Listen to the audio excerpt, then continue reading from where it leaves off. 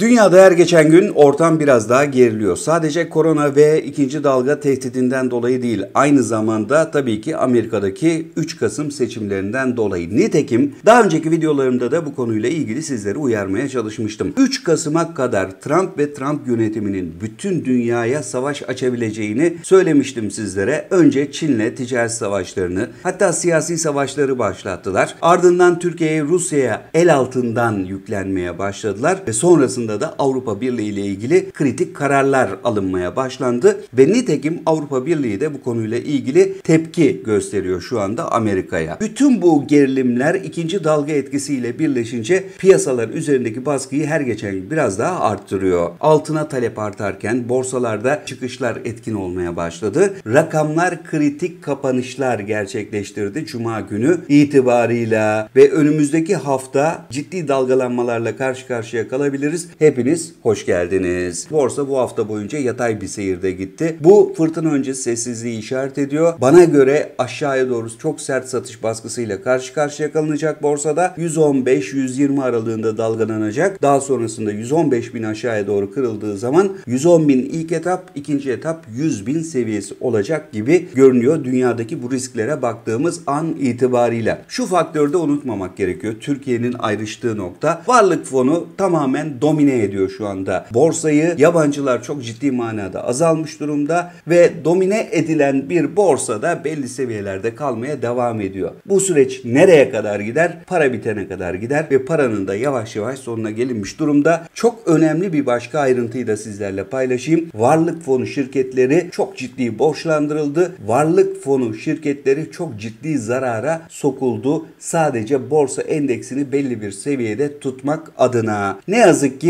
bu zararların, bu borçların bedelini de vergi olarak bizler ödemeye devam edeceğiz. Dolar 6.85-86 zaman zaman 86'nın son noktaları 87'yi zorlayan bir dolar kuruyla karşı karşıya kaldık. Tamamen sıkışmış durumda. Hatta piyasada dolar sabit kura mı geçti kardeşim nedir bu diyenler var. Çok da haksız değiller ama doların bu seviyeleri artık inanılmaz kritik noktalar arkadaşlar. Bir kere 6.85'in altı yok. Zaman zaman zorlansa bile tekrar kendisini 6.85'in üzerine atıyor. 6.86'yı zorluyor ve ve bu seviyelerde kalıyor. Gelecek haberler, veri akışı Türkiye'deki doların çıkışının hızlanması yabancılar kanalıyla, Türkiye'nin yurt dışından para bulamaması, yeni swap anlaşmaları yapamaması nedeniyle iyiden iyiye dolara ihtiyacın artması, aynı zamanda Merkez Bankası rezervlerinin sıkıntılı durumu ve tabii ki cari açık meselesi dolar üzerindeki baskıyı her geçen gün biraz daha arttıracak gibi görünüyor. Doların bu seviyelerde tutulması aslında kademeli yükselişinde önünü kesen bir şey. Yani doların tehlikesini arttırıyor. 6.85, 7.20, 7.80, 8.10 bu ivmede dolar kademeli bir şekilde yükselecekken ne yazık ki devalüasyonist etkiyle yükselecek gibi görünüyor. Dolardaki kırılma ekonomik krizle eş zamanlı gerçekleşecek gibi görünüyor.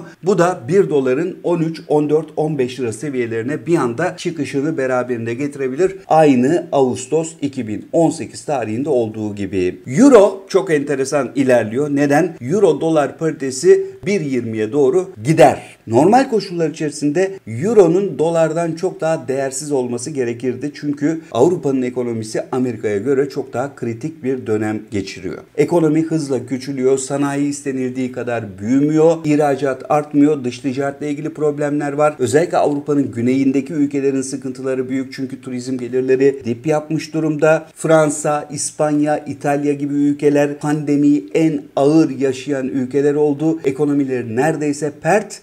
Paritenin normal koşullarda 1.08 seviyelerine hatta 1.06 seviyelerine çoktan gelmiş olması gerekirdi ve biri aşağıya doğru zorlayarak euro dolar paritesinin dolar euro paritesi olması gerekirdi. İlk hedefi 1.18, ikinci hedefi 1.20'nin üstü olur. Euro dolar paritesinin bu yükselişine bağlı olarak da Türkiye'de euro ile dolar arasındaki makas euro lehine açılıyor. Euro dolara göre daha fazla yükseliyor. Faiz yine çok kritik rakamlardan birisi ve kapanış da bence çok kritik. Politika faizine bakıyorsunuz 8.25 Merkez Bankası'nın tahvil faizine bakıyorsunuz 10 seviyesinde. Bu şunu gösteriyor. Piyasanın faizi Merkez Bankası'nın politika faizinin çok üzerinde. Demek ki piyasa Merkez Bankası'nın politika faizini gerçekçi görmüyor. Gerçeklerle Merkez Bankası'nın faizi uyuşmuyor arkadaşlar. Öyle mi? Tabii ki öyle. Çünkü Enflasyon yükseliyor. Negatif reel faiz makası açılıyor. Mevduata gidişin önü her geçen gün biraz daha engelleniyor. Türkiye dış borç bulamadığı gibi içeriden de borçlanmakta zorlanıyor. Özel bankalar kredi vermeye yanaşmadığı gibi mevduat da toplayamıyor. Türk lirası mevduattan bahsediyorum. Vatandaş dolara altına gidiyor. Bu da piyasa faizlerinin yukarıya doğru seyrini zorluyor. Altının onsu bence en kritik kapanış rakamlarından birisi olarak karşımıza çıkıyor altın aşağıya gelemiyor, gevşeyemiyor. 2000-2500 dolar aralığını zorlamaya başlar. Petrol 43'te çakıldı kaldı. OPEC ülkelerine bakıyorsunuz bir miktar arzı arttırdılar ama petrol fiyatının düşmesini engellemek için de çok itinalı hareket etmeye çalışıyorlar. Bu bize şunu gösteriyor. Petrol üreten ülkeler Amerika'dan Rusya'ya, Rusya'dan Arap ülkelerine kadar aslında fiyatların geri gelmesini istemiyorlar. Çok da haksız değiller. Çünkü petrol geriye geldikçe ya karları iyiden iyi azalıyor ya da zarara geçmeye başlıyorlar. Petrol fiyatlarının düşmesi onların daha fazla petrol satmalarını da beraberinde getirmiyor. Çünkü yeterince dünyada üretim yok, sanayi üretimi yok. Dolayısıyla fiyatlar ne kadar yukarıda kalırsa onlar için o kadar kar. Onlar için kar ama bizim için büyük bir risk. Çünkü bizim cari açık kalemlerimizden önemli maddelerden birisi tabi biliyorsunuz enerji, petrol ve doğalgaz ithalatı. Onun için petrol fiyatlarının yükselişi ya da bu seviyelerde kalması bizim cari açığımızı daha da etkiliyor. Doğal olarak doların kırılganlığını daha da arttırıyor. Bu sizin hem enflasyonunuz üzerinde kırılgan etki yaratır hem de dolar üzerinde kırılgan etki yaratır. Hele ki dolarda devalüasyonist bir etki olursa enflasyon bir anda %20 %30'ları zorlamaya başlar. Reel sektöründe iyiden iyiye köşeye sıkışması işsizliğin patlamasını da beraberinde getirir. İflaslar, konkordatolar gelir, banka batıkları artar. Onun için petrol fiyatlarının da yükselmesi çok kritik. Doların yükselmesi gibi arkadaşlar. Doların yükselişini evet bir şekilde baskılıyoruz. Son bir yıl içerisinde 100 milyar dolardan fazla satış gerçekleştirmişiz. Sadece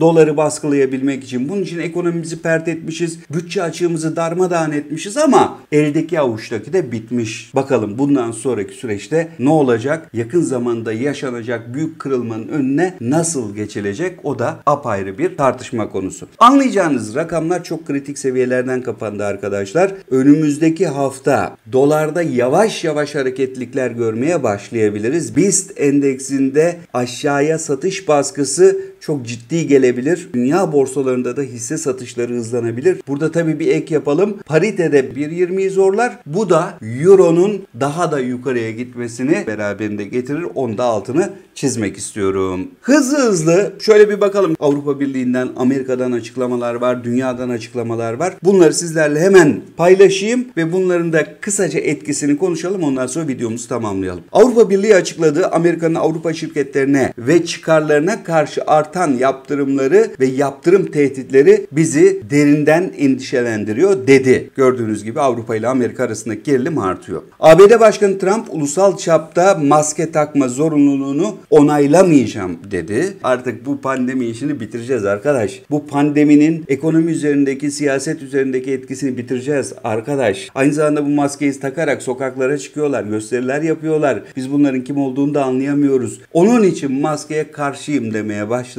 Ha bunu engeller mi, engelleyemez mi bilemiyorum. Çünkü tek yetkili Trump değil. Evet başkan ama sonuç itibariyle bir senato var. Aynı zamanda eyaletlerin kendi yönetimleri var. Onların vereceği kararlar da çok önemli. Merkez Bankası zorunlu karşılık oranlarını yükseltti. Bu çok kritik. Bir iki cümle etmek isterim. Bankalardan zorunlu karşılık tutuyor biliyorsunuz. Bu oran %15 civarındaydı. Şimdi bunu %18-%20 aralığına çekiyor. Yani diyor ki bankalara sizin paranızın önemli bir kısmını blok bloke ediyorum arkadaşlar. Bu da bankaların hem kredibilitesini zorlaştırıyor hem de maliyetlerini arttırıyor arkadaşlar. Çok kritik bir karar. Bunun yakın zamanda etkilerini görmeye başlayabiliriz. Onu da belirtmek istiyorum. FED COBİ'lere kredi üzerinde çalışıyor. Küçük orta boy işletmelere. Bir kurtarma çalışması içerisindeler. Demek ki bu işi çözmeye çalışıyorlar. IMF ABD ekonomisi %6.6 daralacak dedi. Amerika %6.6 daralırsa en çok bundan COBİ'ler etkilenir. AB liderlerinin kurtarma fonu üzerinde çalışmaları başladı. Bakalım nasıl bir sonuç çıkacak? Çok zorlu görüşmeler olacağı söyleniyor. Öyle ya da böyle bir kurtarma fonu oluşturulacak ama bunun bedeli ne olacak? Avrupa Birliği'nin geleceği ne olacak? Gördüğünüz gibi dünya sadece pandemiden dolayı, ikinci dalgadan dolayı değil, bir yığın başka nedenden dolayı, ekonomik ve siyasi nedenlerden dolayı da gerilmiş durumda. E, Türkiye'de de Doğu Akdeniz meselesi var, Libya meselesi var, Suriye meselesi var, Avrupa Birliği ile gerilim meselesi var, Fransa ile gerilim meselesi var, S-400 konusu var, bir yığın ekonomik verinin bozulması meselesi var, Rusya ile Ayasofya üzerinden gerilme meselesi var, var oğlu var. Türkiye'nin işi çok ama çok zor ve önümüzdeki haftalarda da bu zor gündemin ne yazık ki bedellerini hep birlikte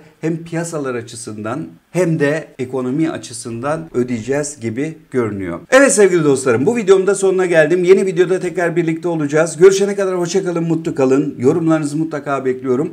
Abone olmayı ihmal etmeyin. Bildirimlerinizi mutlaka açın. Diğer taraftan videoyu beğendiyseniz mutlaka dostlarınızla paylaşın.